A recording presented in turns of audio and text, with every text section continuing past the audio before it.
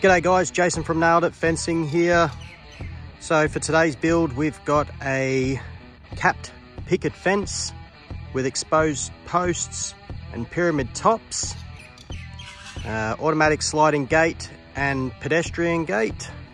All right, let's have a look, shall we?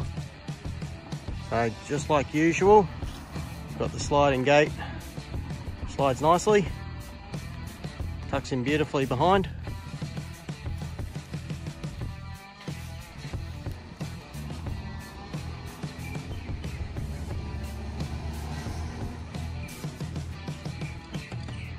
All lining up nicely. Got a bit of a gradual downhill on this, so this fence just follows the land. On the pedestrian gate here, we've just added a self-close. As you can see, the sliding gate comes past the pedestrian gate.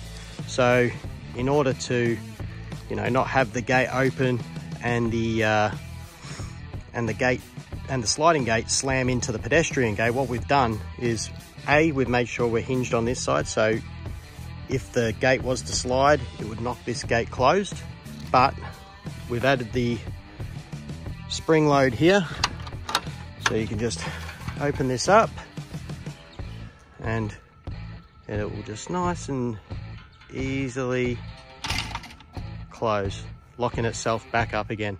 So that's a nice little feature.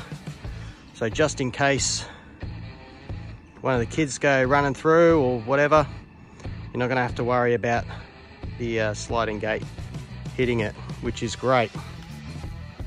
Let's come back to the front. Nice and neat job. As you can see, coming downhill a little bit. Beautiful. Just close the sliding gate back up again.